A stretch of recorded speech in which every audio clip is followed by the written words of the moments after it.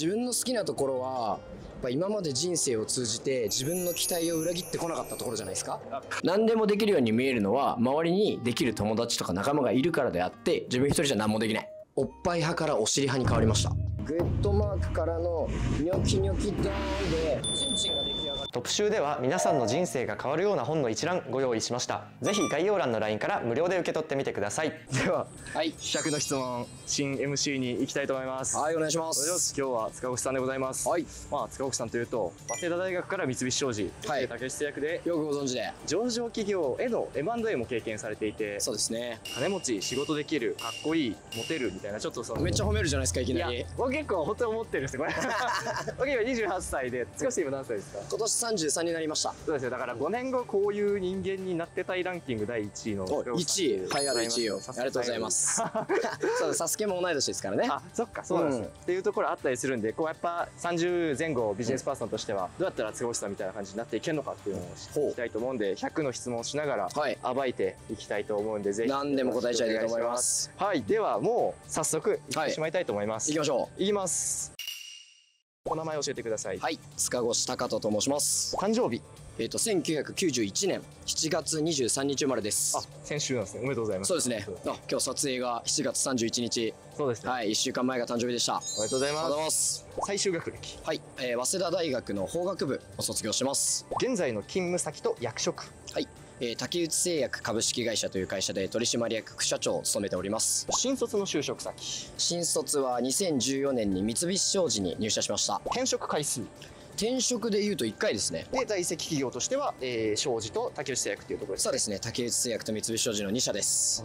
竹内製薬にはどういうポジションで入られたんですか？そうですね。入った時から取締役として入っていてまあ、副社長っていうのはまあ後からついてる役職なので、はい。まあ、ずっとやってることは変わらないです。そうなんですね、はい。高い役職で転職っていうすごいいわゆるエグゼクティブな転職みたいな。まあ当時の竹内製薬社員数10人全然切ってるくらいのところなのでまあ2すごい番手として入社してっていうような形ですね。その10人から100人でずっと経営してきたんですね。そうです。もうあー。5年6年ぐらい竹内製薬の経営に携わってるのでだいぶ大きくなりました。なるほど。三菱商事の独特すぎる文化。まあ、いっぱいあるんですけどあのメールの文面が硬いというか武士みたいな文面になるところはめちゃくちゃ独特でしたね。聞いたことありますね、はい。あのなんかなんとか候みたいな。なんとか候賜る。あとねあの後輩のことを自分より年下の社員のことをはい。何々兄ってつけるっていうなんですかね硬い言葉なのかもはや三菱商事の文化なのかもう全然わかんないけど理解謎すぎる文化でした。あ 面白い。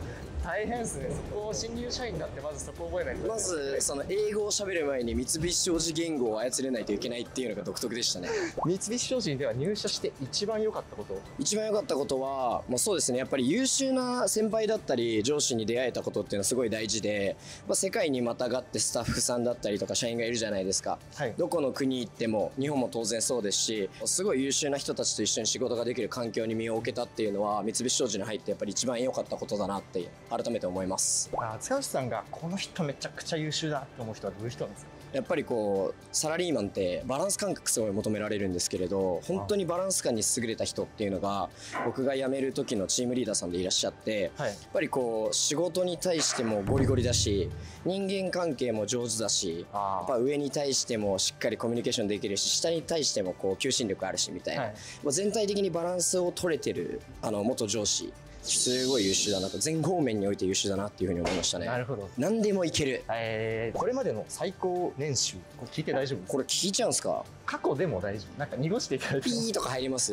ピーでもいいですしロレックス何個ぐらい出て えー、都内にマンション買えるんじゃないですか？ああなるほどなるほど、なるほはい、ど。あとはご想像にお任せします。ありがとうございます、これまでのキャリアで自慢できることそうですね。自慢できるかっていうとちょっと難しいかもしれないんですけど多分なかなか他の人が歩まない独特なキャリアを歩んでることは結構自慢かなと思います。やっぱりねあの三菱商事退職したらなんか起業したりとかあの MBA 取ったりとか、まあ、よくサスケさんも言ってますけどキャリアアップ的に外資金融行ったりとかっていうのが多いと思うんですけれど、中小企業に行って中小企業を伸ばして売却するあんまないのかなと思っていてこのなんかこう独特なキャリアっていうのは自慢かなと思ってます。障子は何年いって今竹内製薬は何年ですか？そうですね三菱商事が4年半。うん。で竹内製薬はもうすぐ6年になります。もう超えたんですねファーストキャリア。超えちゃいました。なるほど、はい。会ったことがある有名人まあいろんな方にお会いしましたけど、まあ、サスケさんより有名な人に会ったことはないですね。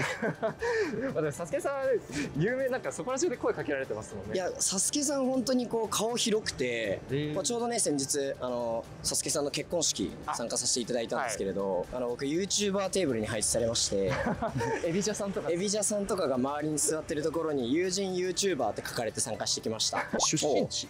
群馬県高崎市高校は？えっと、早稲田大学本庄高等学院っていう早稲田大学の付属校ですね。じゃあ受験して？えっと、実は推薦です。ええ優等生だったんですねまあ、結論人生で受験をしたことがないという人生ですね。あそうなんだ、はい大学は現役か浪人かという質問があるんですがこれはもちろん現役というかエスカレーター。早稲田大学の用語で言うと裏口です。裏口っていうんですか？裏口入学です。裏口ではないですけど 早稲田大学では何してたんですか？そうですね。大学の時何してたかというと、やっぱりお酒を飲んで、タバコを吸って麻雀を打つ日々でした。あの恐縮ですけど堕落してます まあやっぱり基本動作なんで、それは必ず抑えてから卒業しようかなと。キャリアアップを目指すならトップ集転職現在トップ集では無料でキャリア相談を受け付け中ですこんな経歴のキャリアのプロが自己分析から面接対策まで1対1でご支援します。ご応募は概要欄の公式 LINE から数には限りがあるのでお早めに皆さんの応募お待ちしております。中高時代の部活そうですね。中学時代がソフトボール部。かなりマイナーな男子としてはそんなに競技人口が多くないスポーツなんですけど。意外ですね。確かに。ワイルド塚越さんのイメージとはちょっとか意外ですよね違いました。はい。でもソフトボールで、えー、と全国で3位。になりました、ポジションは？ピッチャーです。あやっぱり、はい。それが中学で。高校は何ですか？高校はラグビーをやってました。全然違いますね。いやラグビーって高校から始める人結構多かったんへー。でまあ始め高校から始めるスポーツとしては非常にいいなっていうのと、えやっぱね血気盛んな男の子だったんで。戦闘スポーツをやろうかなと思ってラグビーを始めました、えー、しんどかったですか？めちゃくちゃしんどかったですね。1万回ぐらいやめたいと思いました。何がしんどいですか？痛い。あーまあ単純に痛いっすよね。楽しい。痛い。みたいな。常に痛さが上回ってネガティブな気持ちでやってました。ネガティブな気持ち、まあ、楽しくやってましたね。なるほど。家族構成？えっ、とまあ両親と,、えっと2個下の弟が1人ですね。なんかお姉さんいそうって勝手に思ってました。ああそれは女の扱いがみたいな。あー女のとか言っちゃダメですね。あー女の子の扱いがみたいな。モテる人あの姉いるあるあるだと思うんですよね。それで言うとサスケさんはいないですけど大丈夫そうですか？ケさんはモテる認識あんまなかった。おっとなんか物議を醸す発言がありますけど。そんなことはないですけど親の教育方針。えっと基本的には結構教育熱心な親でしたね。家訓みたいなのってあったんですかいや特にこれはなかったですけど中学の時に言われて結構心にあの記憶に残ってるとか自分の中でも重要だった言葉があの上を見る見ろと。で下を見るなと。テストの試験の結果が返ってきて5位とかだったりするじゃないですか。はい。100人ぐらいいる学年で、まあ、下に95人いるわけだと。だから5位ってすごいじゃないか、みたいなこと言ったら、まあ、下見たら一生そんな人生になるぞと。常に自分より上にいる人のことを見てそういう人たちを目指して何かをやるようにしなさいっていうふうに言われたのは、結構記憶に残ってるしやっぱ親もそういうふうに僕のこと育ててくれたんで自然とやっぱり次はもうちょっと高みに行こうとか次こういうことを目指そうっていうふうに考えられるような人になりましたね。休日の過ごし方。休日はまあ基本的にゴルフしてるか筋トレしてるか野球してるかですね。大体動き回ってます最近のがっかり話。いやもうこれはもう二日酔いが夕方になっても治らないっていうのががっかり話でやっぱ年を感じてるなってとこですね。昔はねどんなに二日酔いでもはって会社に行って元気に仕事して夜にはまた飲めたんですけどもうそれができないです。飲むとどうなるんですか？飲むと基本的には陽キャですね。ああよく変わんないじゃないですかあとどちらか普段と変わんない。あと記憶がなくなってもずっと飲み続けてるっていうのが危険なポイントで だから翌日の二日酔いがどうなるかが読めない。人に分かってもらえないこだわり僕こだわりってないんですよ。基本的になんかこうやるべきことだったりとか必要なことっていうのを優先的にやるんでこうじゃないとダメとかルーティンとかっていうのはあんまなくて、なるほど。やりたいことやるべきことをやるっていう感じなんでこだわる要素があんまない。なるほど。主観というよりはこう客観的にロジカルに。どっちかって言ったらそっちかもしれないですね、えー、なるほど。自分の好きなところ。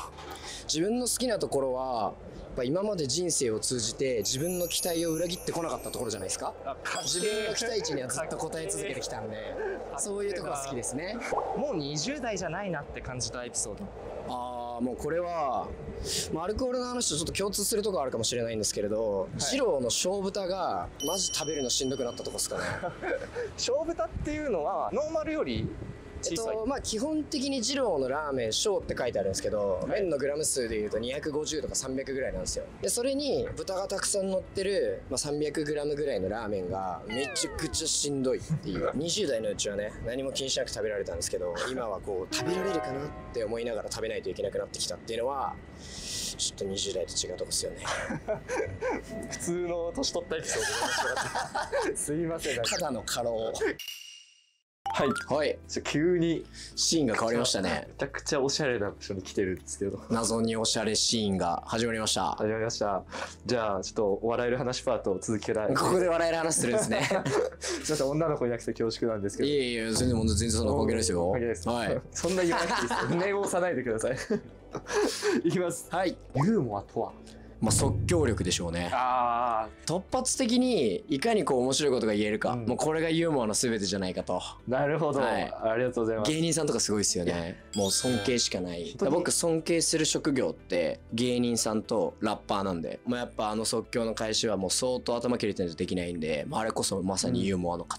我々憧れるよね、やっぱああいう存在。自分にないものはねそうそううそうそう。過去一の武勇伝塚越さんオリジナルクエスチョン難しすぎるのよ。パスでも大丈夫ですパスで。パスではい。OK です、パスあと2回使えます。あ、2回つけるんですね。助かる OK モテる秘訣。やっぱ男は清潔感でしょ。どのどの 僕が言うのすごいおこがましいよ。どの口が。男は清潔感ってみんな言うじゃないですか。モテる秘訣はそこです。なるほど、はい、清潔感。ありがとうございます、はい。転職活動の心構えやアドバイス。もう決断力。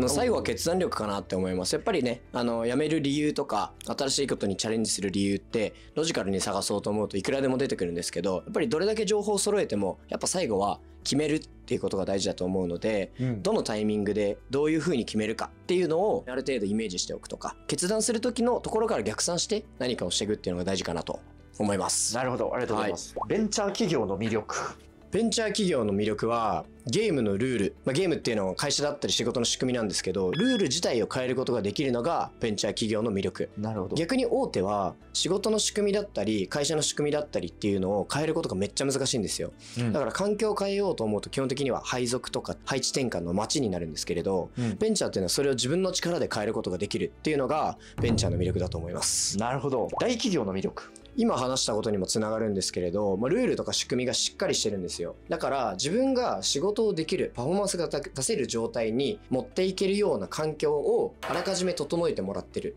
ある意味成果を出しやすい環境はどっちかっていうと大手企業なのかなっていうふうにも思ったりします。なるほど、はい。じゃあ実績作りやすいとかまあ箔をつけるっていうのうん、経験値をつけやすいっていう意味では大手企業ってのはすごくいい環境だなと思います。キャリアでの後悔や誤算。えっ、と後悔誤算一切ありません。最終的に結果出せば全部正解になります。じゃあ今悩んでる人は結果を出せば解決するってことですね。そうですね。悩んでる場合じゃない。悩んでるやつ厳しいって。コールドシャワーみたいなコールドシャワー浴びた方がいいって。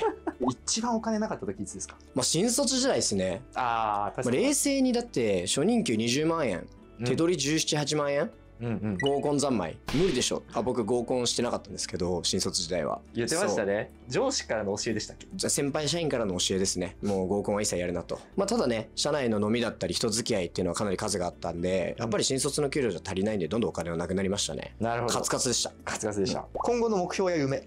これはですねもう人を育てる。ここに注力したいなと。やっぱり自分でプレイヤーとして、まああのまあ、会社を率いる側として数字を出したり結果を出したりするところはある程度やってこれたので、まあ、今後はその活躍する人を育てたりとかたまたまもっと自分よりもすごい経営者だったりとか自分よりすごいこう仕事のパフォーマンス出す人をたくさんあの育成してそういう人たちにたくさん活躍してもらいたいなって思ってます、これまでで一番の失敗談。えー新卒時代に取引先とのゴルフに寝坊したことだいぶやってますねシンプルにやらかしました。怒られましたか？めちゃくちゃ怒られました。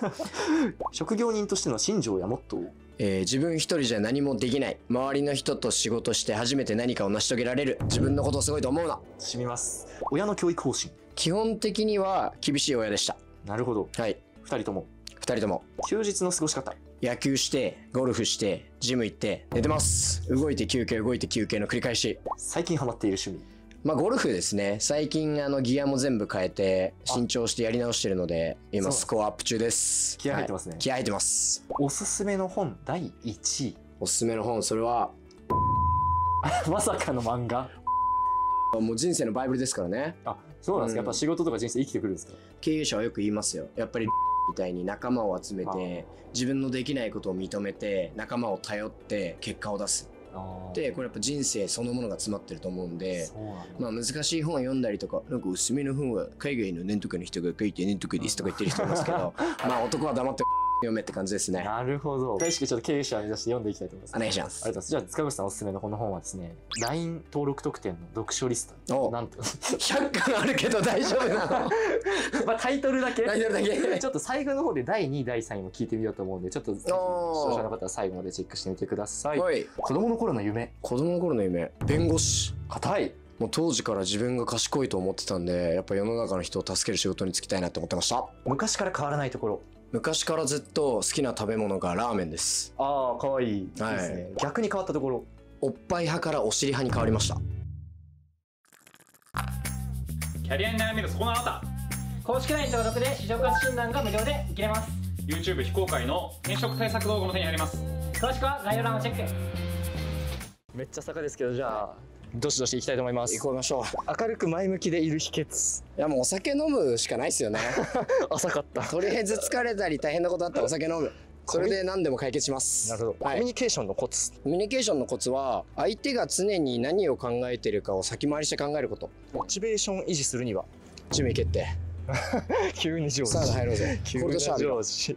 ジム行ってないやつ厳しいってあ最近のトレンドですか？最近のトレンドはジョージですね。男はみんなジョージに憧れるべきだと。見てください、視聴者の皆さんも。お願いします、はい、女性の方もぜひ。どういう時にストレスを感じるか。やっぱりこう自分の期待に応えられてない時ですね。自分これできるとかこれやろうって思ったのをできてない時めっちゃストレス感じます。なるほど。筋トレしてサウナ行って寝る、うん。これすればストレスなんて大体なくなるから。成功とは何でしょうか？ぱ自分と自分の周りにいる人を幸せにできたなって実感できるかどうかが成功じゃないですかうん。深い深い。人生のターニングポイント。人生のターニングポイントはさっきも話した両親に言われた常に上を見なさいって言われたことっていうのが結構自分の中では大きな考え方のターニングポイントになりましたね苦手な人。苦手な人はネガティブな人です悔しい経験。悔しい経験いっぱいあります最近買ってよかったもの。リカバリーサンダルのウーフォス。ただ偽物だったんで履いて3時間で靴ずれして皮ベロベロになりました。リカバリーどころのどころの詐欺ではない。やっぱ最近欲しいもの。欲しいものは無限の体力 ものじゃなかっ何をしても何をやっても疲れない最強の体が欲しいですねた。なるほど。年齢と戦ってるんですね。そういうことですアンチエイジング得意料理。得意料理はタコスあタコスパーティー好きでよくタコスをこうバーって作ってみんなでこうパカパカって食べるタコスパーティーをたまにやってます好きな家事。好きな家事はありませんおすすめの自分磨き。ジム行ってないやつ厳しいって。自分かっこいいなって思う瞬間。野球の試合でホームラン打った時っすね。自分のこと超好きになります。好きな YouTube チャンネル。まずメンズコーチジョージあとは泉朝日のワクワクパーク。え、なんすかそこれめちゃくちゃ面白いショート動画がめちゃくちゃ上がってるんでまだ見たことない人いたら絶対見てください。ぜひ。マジ笑います。好きなテレビ番組？テレビはもう15年ぐらい見てないです。持ってないですテレビ。あ、そうなんですね。YouTube 専門です。なるほど。はい。好きな映画？トップガンずー。っと好き、えー。もう20回ぐらい見た。好きなキャラクター。ルフィ。好きなアーティスト。アーティストわかんない。初恋は何歳？すごい幼稚園じゃないですかね。早い覚えてないっすよ。付き合うなら年下、年上、同い年。ああこれあんま気にしないですね。でも今自分がまあこんな年なんで年下の子の方が相性がいいのかなとは思ってます。るほど。好きなタイプ。好きなタイプは透明感がある人おお、芸能人で言うと。芸能人でいうとザードの酒井さん。あー、半もう透明感の極み。やばいっすずっと好きです。今、恋人いますか？トップシークレットで。欲しいくれ。はい今まで付き合った人に共通すること。みんな女の子でしたねどんなデート好きですか？プロプロになるまでお酒飲んで家でめちゃくちゃイチャイチャするデートが好きですあー、でもそれぐらい飲んでくれる女の子いいっすね。いいっすよねいいっすね。子供の教育方針。基本的には道には乗せてあげるけれどあとは本人次第みたいな感じが好きですね最低限のサポートはしてあげたい何にお金を使いますか？基本的に食べ物と飲み物にしかお金使わないですね。美味しいご飯食べて美味しいお酒飲んでバカ騒ぎする。これに全てのお金を使ってます。エンゲル係数高めです。めちゃくちゃ高いと思います。おすすめのサブスク。まあ YouTube 見てる人。みんな YouTube プレミアムに登録した方がいいんじゃないですか？あーあと快適。うん。なるほど。出かけるときに必ず持っていくもの。スマホ以外ってことですよね。ですね。ああまあでもこれですかね。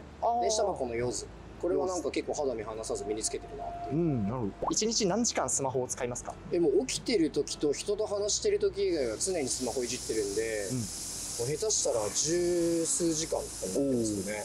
スマホで何をしてるんでしょうか？基本的には LINE だったりとか仕事のチャットだったり人とコミュニケーション取ってるって感じですね。よく使う絵文字やスタンプ。ちょっと見せていいですか？何ですか？このスタンプなんですけど面白いんですよ。このグッドマークからのニョキニョキドーンでチンチンが出来上がる。好きなゲーム。ゲームしないですね。あとたまに人と麻雀打つぐらい。うん。うん。朝方夜型？あんま関係ないですね。バラバラ。バラバラ平均睡眠時間。56時間ぐらい。ああ短めですね。多分短い。でももう多分慣れちゃった。普段運動しますか？めちゃくちゃします。週に56日ぐらいは運動してます。えー、あジム行くんですか？どこ行ジム行くのと野球するのとゴルフするのとって考えるともう運動しない日がむしろないぐらい。くおーアクティブ。今100万円拾ったら何に使いますか？拾ったらそれ届けるでしょ じゃあ手に入れたらぐらいの感じで。手に入れたら。えー、仲いい友達誘って美味しい寿司食べに行きますね。わあ素敵、うん。いいっすね。キャリアアップを目指すなら特集転職。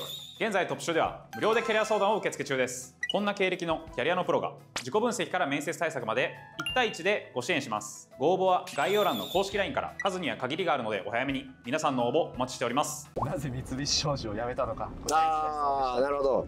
まあやっぱりもっとワクワクしたかったからですよね。三菱商事ではそれができないとそうですね。やっぱり良くも悪くも大企業やっぱりこの先のキャリアだったりとか自分がどうなっていくような姿がしっかり見えて準備されてる世界だったのではい。そこではなくて、まあ、自分が0にでも100にでもなれるような全く先が見えない環境で勝負したいなと思ったのが三菱商事を辞めた理由です、どんなお子さんだったんでしょうか？子供時代はですね負けず嫌いでしたあうん。あやはりこう変わらないところでもおっしゃってましたけど。何一つ負けたくなかったですね。えー勉強もスポーツもみたいな、全勉強もスポーツも。でも悔しい経験はあったんですかね。そうですね。最後に泣いたのいつですか？いやーこれはね23年前ぐらいですね。ああ、はい。まあ程よく昔ですね。そうですね。どういった内容でイいや結構真面目な話なんですけど、まあ、前の代表と会社をこう、まあ、M&A するっていう話をしてた時に前の代表が悪悪意なく会社のこう価値を毀損してしまうような物事を進めちゃってたんですよ。それがまあ自分にとってはなんでこんな会社のこう価値を毀損するようなことをしてしまうんだと同じ方向を向いてきてやってきたのにっていうところですごいこう悔しい気持ちというか悲しい気持ちが湧き起こってきて、はいちょっと涙を流したっていうのをちょっと覚えてますね。めちゃくちゃど真面目な本当にど真面目シリアスなはい親との関係性はい。両親との関係性はめちゃくちゃいいです。まあ、実家群馬なんで、まあ、帰るのにまあ1、2時間ぐらいかかるんですけど、まあ3ヶ月に1回ぐらい実家に帰って、お母さんの作ったご飯を食べながらみんなでお酒を飲むっていうのが 定期イベントになってますね。いいですねちなみに何て呼ばれてるんですか？下の名前でタカトって呼ばれてます。タはい。兄弟との関係性はい。兄弟との関係性もいいです。何個ぐらい離れてるんでしたっけ？2個下の弟ですね。で、弟はもう結婚もしていて、子供もいて、僕よりも先を行ってる弟なんですけれど、まあ、人生というフェーズにおいてはもしか完全に先輩ですね。子供の頃の挫折。まあ、子供の頃かわかんないんですけど、まあ、基本的にやっぱ自分のこと何でもできると思ってるじゃないですか。はい。自分の好きな子好きだった子にあの彼氏がいた時っすね。えー、それちなみにいつですか？それは小学校の後半ぐらいですかね。えー小学生って彼氏いるんですね。事実がよくわかんないけど、はい。めっちゃショック受けて終わったって思った記憶あるっすね塚越さんも失恋があるんですね。まあそういう経験を経て強い男になろうと思って今に至るわけです。なるほど。今も覚えてるってことですもんね、はい。は。挫折体験です強烈な。ちなみにどこが好きだったんですか？顔？まあ若かりし頃ですからね、うん。まだまだ浅い部分もあとやっぱぱみんなのリーダー的な存在の女の子ってやっぱ可愛く見えましたよね当時は、うんなるほど。キラキラしてますね。なんかそう。はい。親友はどんな人？親友。これいつも悩むんですけどあの友達多くて誰が親友なのか分かんないです。なるほど、はい。じゃあたくさんいるって感じですか？そういうことですね。共通するポイントとかあるんですか？うんみんないいやつ。陽キャ。陽キャ、うん。ああいいっすね。尊敬する人？尊敬する人は両親です。おおどのあたりが？まあやっぱこの怪物塚越をこの世に産み落として育てたっていうところはやっぱ尊敬に値するポイントじゃないかなと。確かに。最近起こったこと？怒られたことならいっぱい思いつくんですけど怒ったことが思いつかないです。どんな時イラッとしますか？サウナ入った後の水風呂がめっちゃぬるい時。冷たい方がいいですえ絶対冷たい方がいいでしょ？いや僕は結構腰ぐらいまで使っていいやつそれ厳しいって。ちゃんと体全部つけて体冷やさないとテストステロン上がらないって厳しいって。本日7回目ぐらいの上司 座右の銘旅は道連れっていう言葉でやっぱり何かやるにあたって一人じゃ何もできないんですよね。だからできるだけ仲間をこう連れて挑戦した方が楽しい人生歩めるなっていうのが座右の銘です。なるほど、はい。陽キャ友達多めの人っぽいですね。でしょ？最も大切にしている価値観。まあ座右の銘と被るんですけど結局一人じゃ何もできないっていう価値観ですかねやっぱ周りの人と何かやって初めて大きいことができるんで一人じゃ何もできないぞっていうところが自分の中で大切にしてる価値観です。はれだけ何でもできる塚越さんでもやっぱ一人では。違うんですよ。何でもできるように見えるのは周りにできる友達とか仲間がいるからであって自分一人じゃ何もできない。うわー深い。深い、ありがとうございます。仕事で悩んでいる人に伝えたい一つのメッセージ。まあ、仕事はあくまで、まあ、手段の一つであって人生を楽しむための。仕事が目的になっちゃってる人が結構多いなと思っていてそれは良くないなと楽しい人生歩むために仕事っていうパーツがあってそれを一生懸命やってるっていう風に考えて自分何したいんだろうって考えたらいいんじゃないのかなって思います。リラックスするおすすめの方法。運動してサウナ入ってお酒飲む。いやもうほんとこれが一番なんじゃないのかなって結論にたもうたどり着いてる。今までで一番のサプライズ。こう質問むずくない？受けたでもやったでも大丈夫です。受けたでもやったでも質問むずいな。パス。パス。はい。OK です。えー、パス今多分3回目なんで、うん。もう使えません。はい。そんなルールだったね。はいすいません。今の仕事してなかったらどんな人生歩んでましたか？まあでもこれは結局今と同じようなことしてたんじゃないのかなってイメージですよね。こういうふうに事業を始めたりとかまあ仲間と仕事やったりとかっていう人生になってただろうなっていう。10年前の自分にアドバイス。新卒の時ですね新卒時代結構大変なことあって自分何もできないなって思ったんですけど、まあ、諦めずに一個一個期待に応えていくってことを頑張ればいい未来が待ってるよってとこですかね。あー確かに救われる人結構多そうですね。う、ん。うん大事な考え方かなと。幸せの定義。幸せの定義は朝起きた時に「やったー今日も一日始まるぞ頑張るぞ」って思える毎日を送れてるかどうかってとこじゃないですかね。素敵っすね。はい、こうなるためにはなんかどんなことを心がけたらいいんですか？やっぱそれは寝る前から始まっていてやっぱ寝る前に今日もやりきったな明日はこういうことやりたいなって思えるぐらい一日をやりきってやっぱ探求することじゃないですかね。プロフェッショナルとは？まあ、やっぱ当事者意識責任感を持ってることじゃないですかね。うんあの技術とかじゃなくてやっぱ心構えでそれをやりきるあのやるべき人間だって自分のことを思って責任を持って物事に取り組める人全員プロフェッショナルだと思いますではここでおすすめの本第2位第3位第2位はですねはこれはですね、まあ、経営者マネジメントあるあるなんですけどキャラを例えにして会話をすることが多いんですよ。えー、こういう人が欲しいとかこういう人と働きたいとかあ。俺はこういう人に今ならなきゃいけないとかはい。武将で例えられることが多いんでこれもまたねビジネスマンの必読書だと思ってます。なるほど、はい。俺は今あのからあのにこう変わらないといけないみたいな今うちに必要なのはだとかね。ああ、なるほど。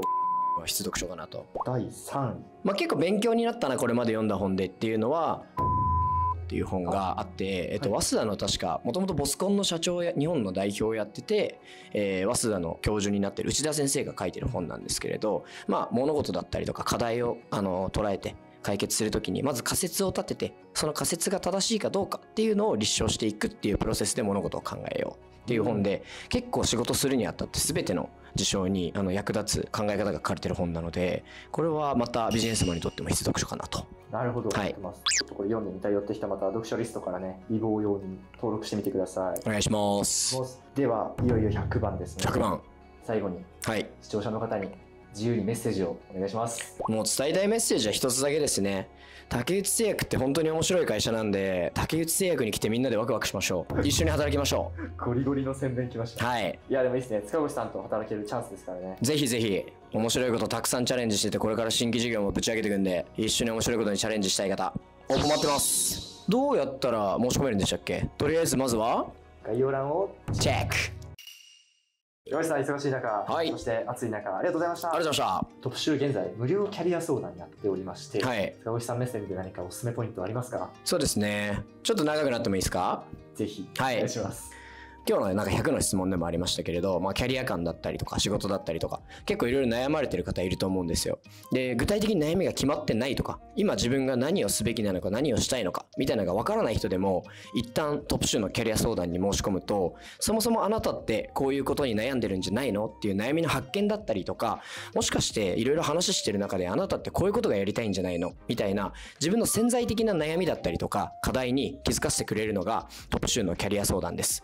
なのでこれを無料で申し込んで自分が今何に悩んでるのかどこに向かいたいのかっていうのを定義し直すきっかけにしてもいいかなと思うのでいろいろお仕事キャリアに悩んでる方はですねぜひトップシューの無料相談に申し込んで自分のキャリア人生を見つめ直してください本当にそうですね。こう転職前提というよりは、こうそもそも人生とかうん仕事どうしていきたいんだっけっていうところで、ぜひぜひ壁打ちに使っていただけたらと思うんで、こちらも概要欄からはい LINE 登録してみてください。お願いしお願いします。ではでは本当はい。にこれで以上になります。ありがとうございました。ありがとうございました。また。またキャリアアップを目指すならトップシュー転職。現在トップシューでは無料でキャリア相談を受付中ですこんな経歴のキャリアのプロが自己分析から面接対策まで1対1でご支援します。現職になんとなくモヤモヤしている。自分の市場価値選択肢を知りたい。